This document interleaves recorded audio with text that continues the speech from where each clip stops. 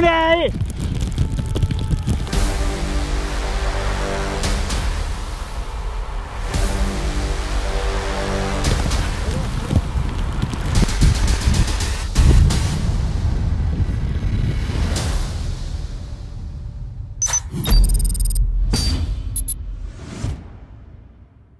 Pobudka była o 6 rano, ale nie było co robić, bo nie ma prądu w tej chatce, więc wszyscy poszli spać o 20, więc łatwo wstać.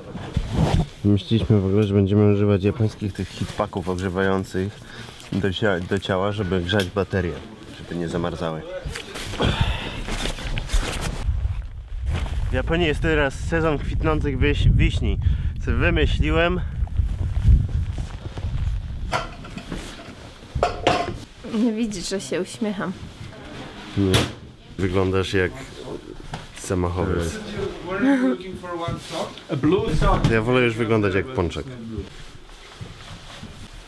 Czy wyglądam jak ta siostra zakonna z Game of Thrones? Shame! Shame!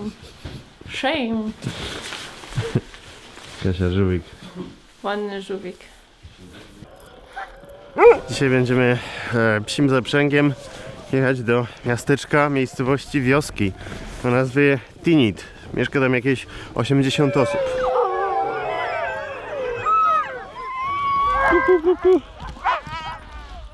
Co będziesz rękawiczkę lizał? Hi, hi, hi. Ona jest młoda i próbuje wszystko No już, już, już. My pojedziemy sobie dzisiaj. Co tam robisz tyłu krzychu? Jak psy startują, to jedna osoba musi do, doci- dociążać sanie z tyłu, bo by odjechały. Więc teraz psy szarpią, a ty musisz trzymać, żeby zanim maszer wejdzie na sanki. Masz tam taki hamulec. Tak, naciskam hamulec teraz. Nie szamcie tak! Lady, uspokój ich! Co to tak bajerują? Przywiązana. Połowę psów są przywiązane, więc mogą ucieknąć z nami, ze mną. Więc Krzy, Krzysiu mnie ratuje. Dzisiaj się zdecydowanie wolniej poruszamy przez śnieg, bo jest to świeży śnieg i psy muszą się przez niego, przez niego przedzierać.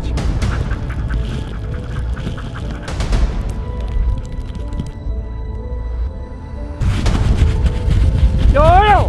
Come on, David! Yo yo! Yo yo! Yo yo! Jest zimno, wiatr wieje, śnieg pada, słońce razi, więc trzeba mieć to, gogle. Stopy jest mi ok. W ręce jest mi trochę zimno. Najgorzej jest mi w tyłek. No nie w ręce. Tak.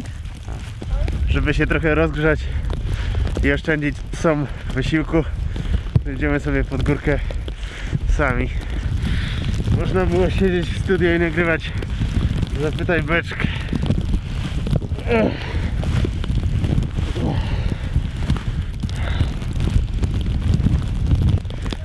Ja pierdzielę, no. Biało, biało, biało. Trochę tracimy widoków dzisiaj, ale efekt jest spoko.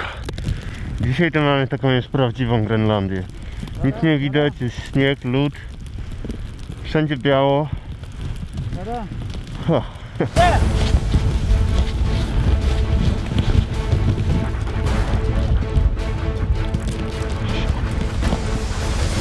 Easy Marty! His name is Easy Martin. Stupid dog.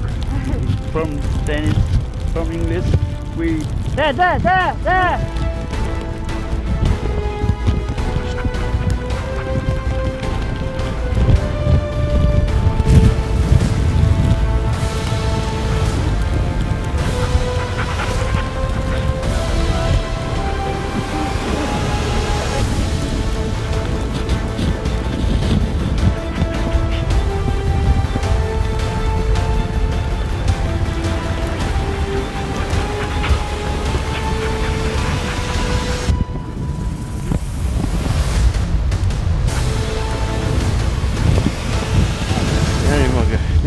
Tutaj dzisiaj żadnych ładnych widoków. e, Nie wiem, golden hour, gór, morza, odbić w wodzie, ale ten dzień chyba na mnie największe wrażenie robi.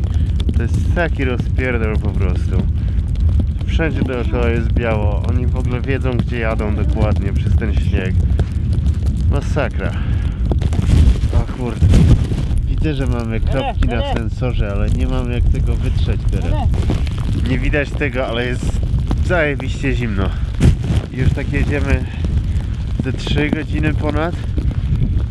Ach, nie ma, że przerwa czy coś, bo jak tu się zatrzymać? Cały mój sprzęt po kolei zaczyna się poddawać w ogóle od mrozu. Zobaczymy. Podobno już jesteśmy niedaleko. Mam nadzieję, że wszystko przeżyje tę podróż. O kurde. Ale jesteśmy strasznie pozamiatani tym. Wiosna, tak właśnie, że to jest wiosna, to już nie jest zimowy hardcore. A dlatego gościa normalny dzień pracy.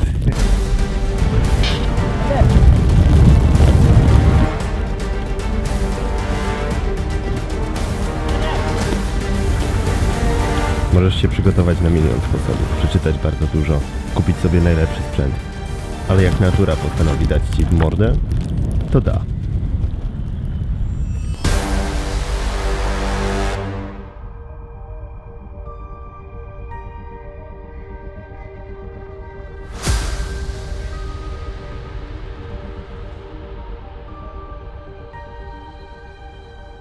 O mój Boże, co za dzień.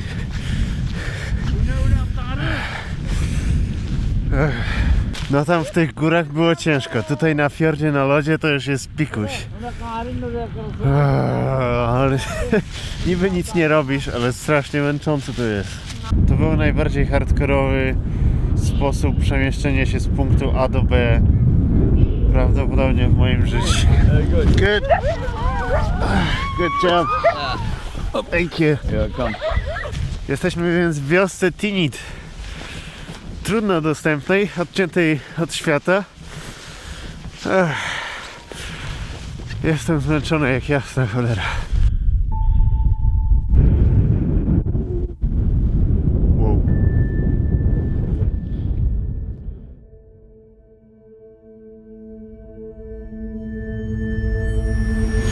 Całą tę zamieć, która nas zatrzymała, e, nasz bagaż nie dojechał dzisiaj. A Wy nie musicie tak milczeć, jak ja sobie ten nagrywam. No, po- Pokaż jak, pokaż jego dupę. to już, to już dupę już nagrałem. Nie, nie, to musisz nakręcić. To musisz nakręcić. nakręcić. Wow. Już nakręciłem. Jeszcze bardziej paruje. Jeszcze bardziej W sumie paruje jeszcze bardziej teraz. Będziesz miał miliony obejrzeń. Twoja dupa na YouTubie się dowiedziała. Można, można kręcić Islandię, Grenlandię, wszystko, nie? Ale pokazać, tak pokazać parującą dupę. Pokazać parującą dupę i tak się zdobywa publiczność. E, nic się nie zepsuło, całe szczęście. Z bateriami trochę słabo, bo wszystkie nasze baterie były w plecaku, ale hmm, coś wykombinujemy. Można chwilę odpocząć. Zaraz idziemy w gości zjeść obiad domowy, inuicki. Zobaczymy.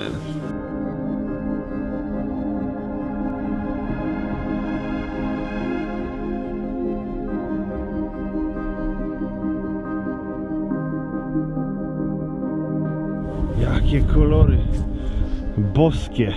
No powiem wam, że są gorsze rzeczy do roboty wieczorem niż dronowanie gór lodowych na fiordzie. Nie wiem, czy to jest fiord. Chyba fiord. Wszystko to jest fiord tutaj.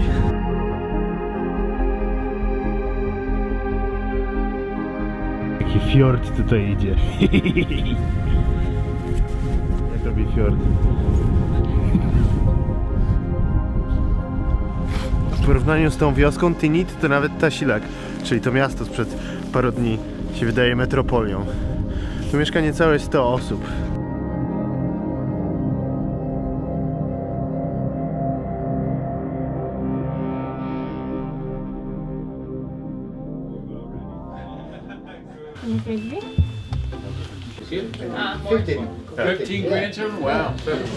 Nasz przewodnik mówi, że dzisiejszy e, transport e, z simi zaprzęgami był jednym z najbardziej hardkorowych od dawna.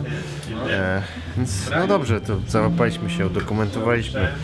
Dzisiaj w nagrodę mamy pyszny obiad e, u mieszkańca wioski.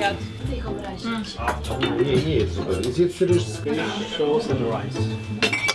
Zupa z foki smakuje trochę jak połączenie gulaszu z zupą rybną, a mięso przypomina, tak jak już mówiłem wczoraj, jak jest sztuka mięsa e, na rosole. To jest natomiast miejscowa ryba, która się nazywa amasat. Od jej nazwy nazywa się ta okolica. Pyszne, no to jest taki odświętny obiad, e, rozumiem, w tej okolicy rodzinny. Do tego jeszcze łosoś miejscowy. No to pojedliśmy. Spoko. Ten gospodarz Prawda, z jednej strony kuchnia inuicka, z drugiej Madrona w kuchni. Pokazał nam filmik swój, który montuje z bardzo pięknymi zdjęciami. Taki płaszczyk z foki. No nikt się tutaj absolutnie z tymi fokami nie certoli. Poznałem ciekawą statystykę. Podobno w tym rejonie żyje około miliona fok. Tymczasem Inuici rocznie zabijają 12 tysięcy. Więc jest to taka liczba fok, która jakby spokojnie zostaje nadrobiona przez repopulację gatunku. Ciekawa sprawa. Dzika Kasia filmuje. Co? Nic.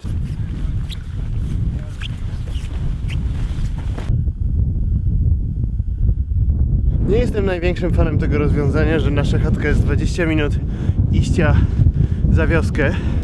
Bo w sumie po cholerę. Ale z drugiej strony taki widok jest trochę tego warty.